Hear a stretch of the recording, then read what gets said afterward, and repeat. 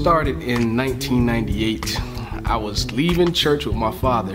He had to learn a song for the male course by the Canton Spirituals, one of my favorite quartet groups. The first song I heard off the album was a song called I Want You to Move. And the bass was just so heavy driven. Of course, like every bass player has the story starting off as a drummer. But um, after hearing this song, I was I was getting quite interested into the bass. So my father, he I had him or made him take me to the flea market to buy the video to the to the CD so I could see who this bass player was. And as I saw what he was doing, how he was playing, and how cool he looked doing it, it just made me say, okay, you know, I want to switch and play bass.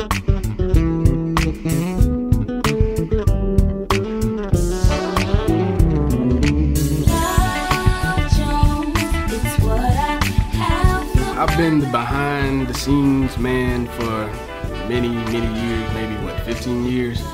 And now I felt like this was the time that I should come out out of my comfort zone as the bass player and the behind the scenes man. I felt like I had something to offer to the world besides just bass. I wanted the world to know Jay Jones as a producer, as a composer, as an arranger.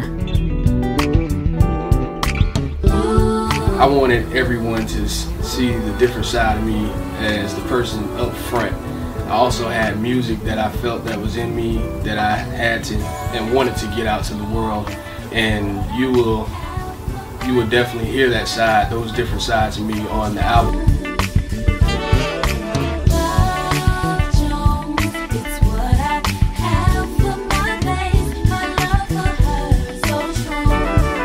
Title is called Jay's Love Jones. It's an attraction that I have to my bass the the funny thing about it is, as you would hear the songs and the hooks and the choruses of the of the songs, you would think I'm talking about a woman, but the woman is my bass. You know, we fell in love at first sight.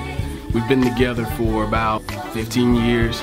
She's been my ride or die. She's been by my side from day one.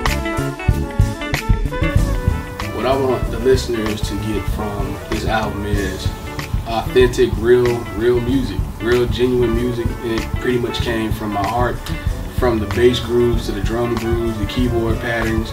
You know, I want you to feel the, the love side of me, the, the groovy side of me, or the, the, the, the real aggressive side of me. Just the different moves that I had while making the music.